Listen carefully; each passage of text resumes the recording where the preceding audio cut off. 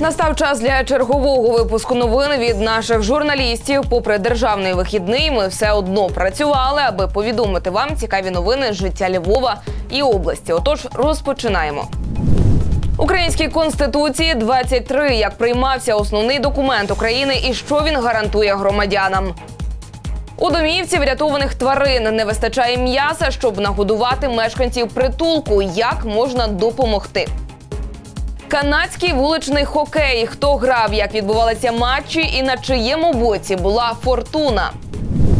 Врятували життя у селі Лозина. Чоловік у своєму подвір'ї під час того, як чистив колодязь після дощів, впав у криницю і не зміг самостійно вибратись. На місце викликали пожежників, які за допомогою тросу витягнули його на поверхню. Загальна глибина джерела близько 7 метрів. Серйозних травм чоловік не отримав, тому від госпіталізації відмовився.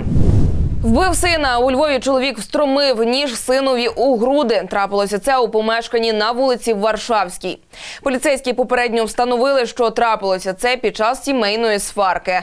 Внаслідок удару ножем потерпілий помер на місці події. Його 64-річного батька затримали. Зловмиснику загрожує до 15 років позбавлення волі. Українській конституції 23. день народження головного закону країни відзначили у Львові, але за пишними святкуваннями і урочистостями головне не забувати значення нашої конституції, яку, до речі, визнають як одну із найдемократичніших і досконалих. Отож, як приймався основний документ України і що він гарантує громадянам, розповімо уже за мить. Після проголошення незалежності необхідність прийняття власної конституції розуміли всі. Та законотворцям на заваді стали старі невирішені ідеологічні питання, і жодна зі сторін не бажала поступатися. Згадується е, боротьба і страшне протистояння, е, які були спровоковані м, комуністичною частиною, лівою частиною парламенту. Головним каменем спотикання для комуністів стали статті 10 і 20, які визначають державну мову та національні символи України. Звичайно, націонал-демократична частина парламенту не бажала поступатися такими принциповими питаннями. Суперечки та торги тривали майже всю ніч. Щоб досягти компромісу, праві депутати погодилися на догоду лівим надати автономію Кримському півострову, на якій вони дуже наполягали. Розпочавши розгляд 20 статті десь о 0 годин 40 хвилин, е, уже 28-го, е, ми тільки о 7 годині 2 хвилини, бачите, в мене навіть е, години і хвилини в пам'яті збереглися, ми вийшли на ухвалення 20 статті, П'ять років виснажливої праці над статтями Конституції, 6 тисяч розглянутих поправок та безперервне 24 години засідання Верховної Ради. І от о 9 годині 15 хвилин відбулося остаточне голосування. Україна одержала свою власну демократичну конституцію.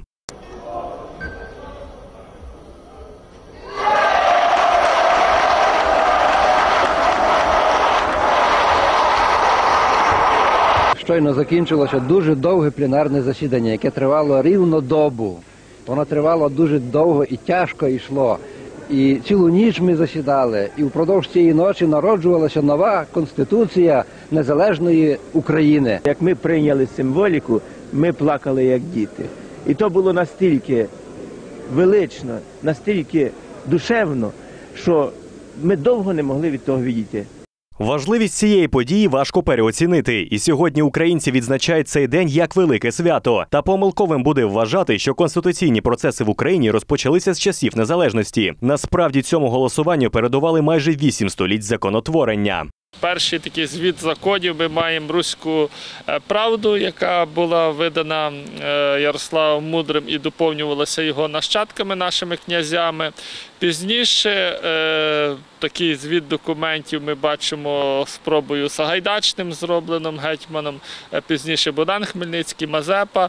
Українці також можуть пишатися першою у світі конституцією, укладену гетьманом України в еміграції Пилипом Орликом. Його звіт законів випередив конституції США та Франції на майже 70 років. Проте через поразку у Полтавській битві її так і не вдалося застосувати на практиці. А Україна на 300 років опинилася в повній залежності від Росії. Наступні спроби затвердити основний закон трапилися аж на початку ХХ століття. В 17-му намагалися діячі Центральної ради, гетьманату е, зробити. Була прийнята Конституція Західноукраїнської Народної Республіки, але, на жаль, ці процеси були недовго тривалими. І першою такою конституцією, яка е, в межах держави існувала, це була Української Радянської Соціалістичної Республіки. Зараз для нас це лише історія. Натомість 28 червня стало для українців особливим днем. Це унікальне, це важливе для українців свято, тому що ми, е, як ну повторю слово унікальний народ, ми перші в світі написали конституцію і подарували її людям. І тому це свято треба відзначати, тому що треба нагадувати собі, а хто ми є. Я вважаю, що не тільки треба святкувати, а й конституції конституцію треба дотримуватися і виконувати. Наша конституція дуже хороша. Ми би хотіли більше від держави, від влади, від політиків, щоб ці права, які зазначені в цій конституції, забезпечувалися. І це свято варто святкувати. Своїми думками про головний закон поділилися і дітлахи. Своїми малюнками вони намагалися пояснити, що таке для них конституція. Ми малюємо е, карту України. В книжці буде Конституція України. А що в тій конституції є такого важливого? Ем, що люди дотримуються правил. Ми малюємо віночок з правами, що, е, що мають, які права мають мати діти. А ти знаєш, що таке конституція? Це, це все, що стосується України. Конституція України стала реальною та дієвою основою розбудови незалежної демократичної держави, гарантом незалежності та соборності нашої країни.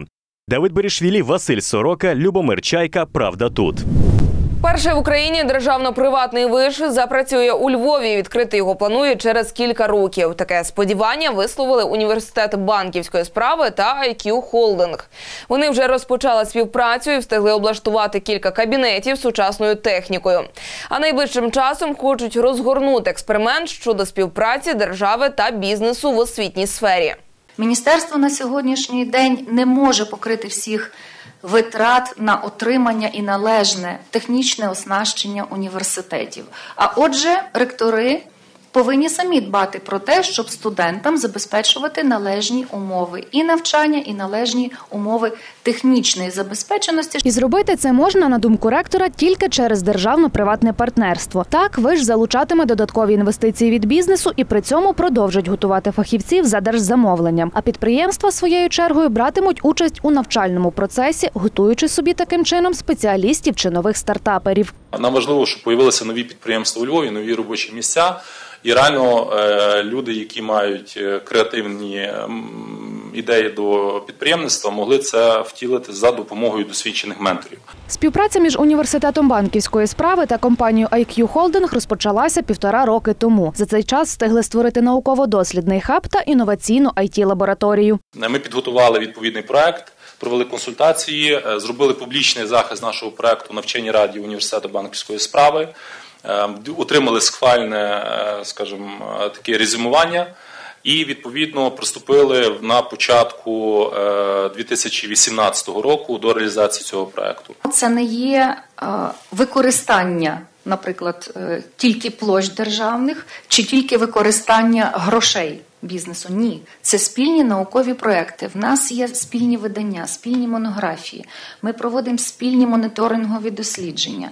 Ми проводимо спільні заходи конференції. Нині створення та функціонування напівдержавних вишів законодавчо майже не регламентовано. Тому партнери подали у Міносвіти пропозицію про проведення експерименту. Якщо його визнають вдалим, пілотний державно-приватний університет відкриє двері для абітурієнтів вже у вересні.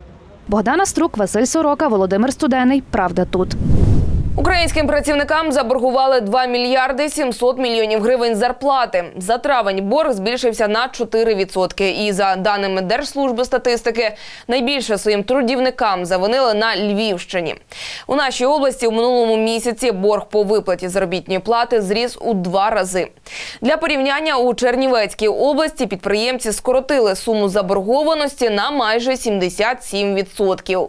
Також додам, що найневчасніше працедавці віддають кровно зароблені робітникам сфери тимчасового розміщення та організації харчування. Екзотичний делікатес подружжя львів'ян створило першу в Україні ферму з розведення їстівних плазунів. У яку вартість господарям обходиться таке підприємство? За скільки та кому продаватимуть холоднокровних?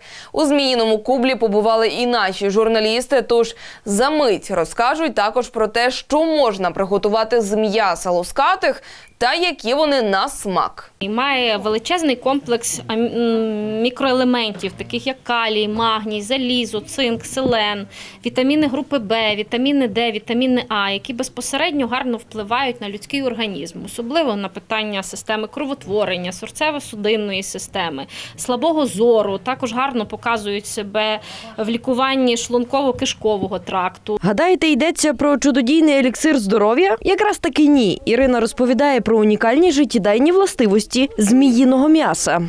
В багатьох куточках світу страви змії вже стали звичним явищем. А от незабаром і львів'яни зможуть також спробувати цей незвичний делікатес. Адже родина Юськевичів, яких на Львівщині знають як засновників равликової ферми, врешті-решт втілили свій давній план у життя. Понад півтора року підприємці йшли до того, аби створити зміїну ферму. Наразі родина вирощує близько 70 особин вужевих. Ірина розповідає, у догляді невибагливі все, що потрібно, умови максимально наближені до природних. Постійно змії можуть полювати за свіжою рибиною. Е, Є сінові копиці для того, щоб вони комфортно відкладали яєчка. Є кам'яні різноманітні брили, де вони можуть вигріватися на сонечку. Е, Також е, маємо імітацію дерев, куди вони ковзають, де вони можуть спати, висіти і всі і займатися своїми справами. М'ясо цих холоднокровних корисне і екологічне насамперед через те, що плазуни не споживають у своєму раціоні аби що. І якщо вони не вибагливі у догляді, то у харчуванні справжні гурмани. Відтак і витрати на їхні наїдки немалі. Орієнтовно на одну змію ми витрачаємо 100 гривень в місяць. Харчування їх акумулюється на живій рибині, мальку. Ми працюємо з рибними господарствами, які постачають нам цей мальок. Також змії ласують перепелинними яєчками і фермерським молоком. Ірина розповідає, цю ідею виношувала вже давно, адже одного разу спробувала страву зі зміїним м'ясом і просто таки закохалася у вишуканий і ніжний смак цього наїдку. Жінка переконана, ця смачна, надзвичайно поживна і багата на білок їжа має бути доступною і для українців. Вважаю їх надзвичайно смачними. Схожі дуже до курятини, але мають суттєво ніжніші волокна і такий тонкий аромат рибний. Страва буде, звісно, дорогою. Не менше 4 тисяч гривень за одну змійку. Е, Вартує не від ваги, а в залежності від розміру. Тобто є градація метр, метр тридцять, метр п'ятдесят. Та поки кажуть підприємці про рентабельність зміїного бізнесу не може бути й мови. Щонайменше за три роки буде перший так званий урожай зміїного м'яса. Адже наразі Ірина та Іван планують лише розводити плазунів та інвестувати власні сили, зусилля і кошти. А от лише тоді українці зможуть поласувати цим унікальним делікатесом. Оксана Павлишин, Володимир Студенний. Правда тут. Наш кораблик уже пришвартовується. Ми сходимо на берег. З такими словами редакція одного із найстаріших та найпопулярніших українських дитячих журналів Барвінок оголосила, що закривається. А все тому, що діти масово занурюються у віртуальний світ, і місця для часопису у ньому немає. За 90 років редакція журналу випустила більше тисячі номерів. І до 1990 року Барвінок був єдиним українським періодичним виданням для молодших школярів. Заснували ж його у 1928 році під назвою Жовтеня. А після воєнної перерви його випуск відновили і перейменували у Барвінок. Хижаки потребують нашої допомоги. У львівській домівці врятованих тварин не вистачає м'яса, аби нагодувати чотирилапих мешканців притулку. Команда нашого телеканалу не змогла залишитись осторонь. і Ми завітали до вовків і лисиці зі смачними подарунками. Спочатку тваринам треба купити м'ясо.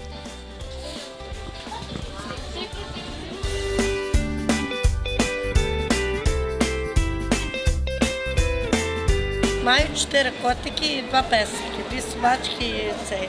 Теж завжди беру для них. Навіть камеру поставила, вже взяла 4 кілограми. Ми купили десь приблизно 6 кілограмів м'яса. Тут курячі серця, шиї та крила. І тепер із цим презентом рушаємо до домівки врятованих тварин.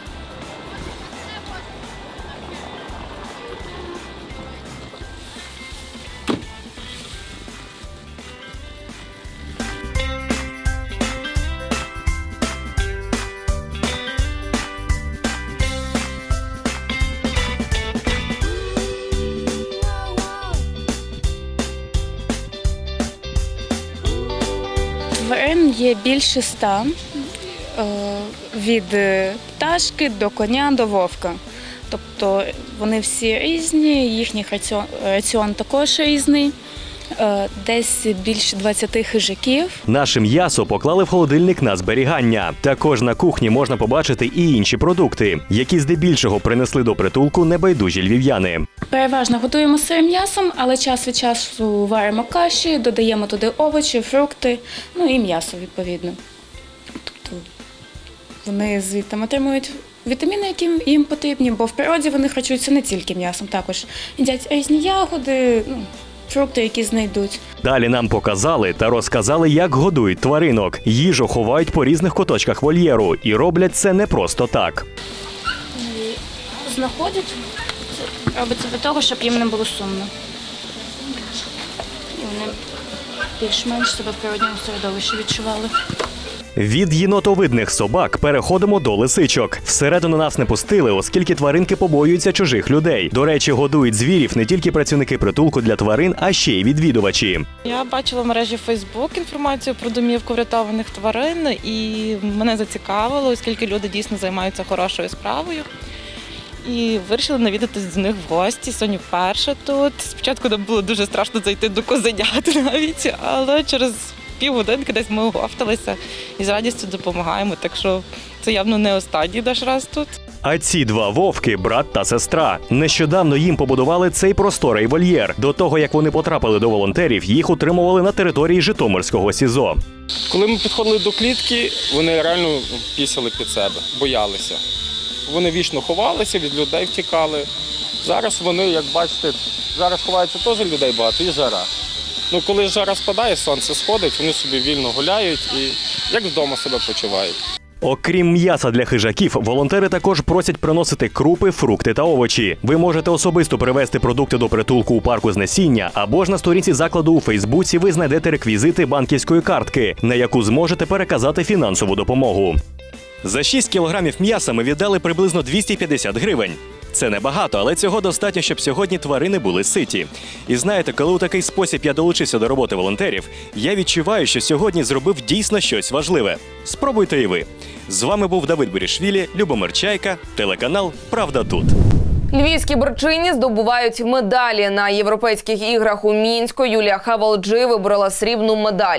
У фіналі вона зустрілася зі шведкою і поступилася їй 4-6. Свої 6 балів суперниця Юлії заробила у першому періоді.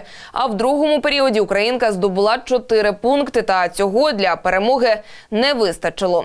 Інша представниця Львівщини Алла Черкасова посіла третє місце у втішному фіналі. Вона теж мала сутичку зі шведкою і перемогла її 6-2. Після сьомого дня змагань в Україні 27 медалей.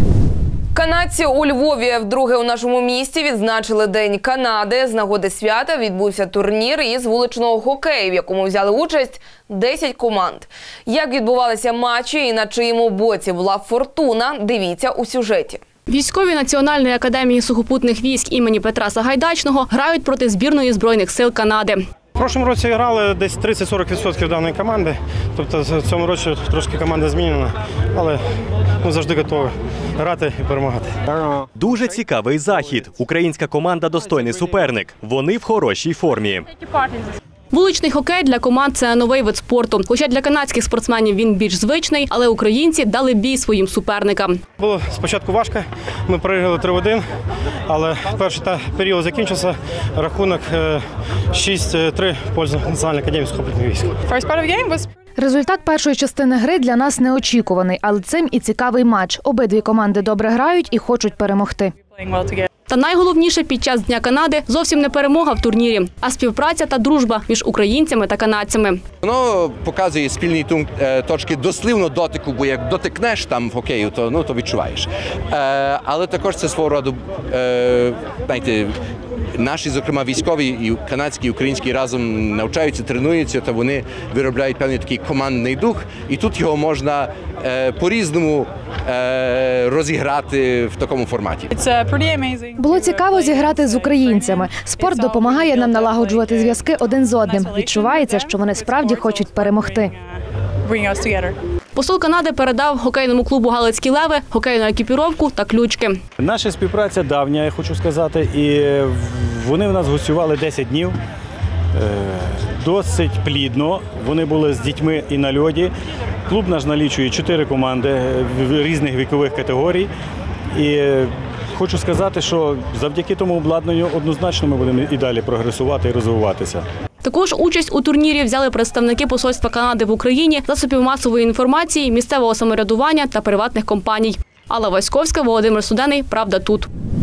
На цьому ми завершуємо наш випуск. Дякую вам за довіру і те, що залишаєтесь з нами. Гарного вам вечора і вдалих вихідних. До зустрічі!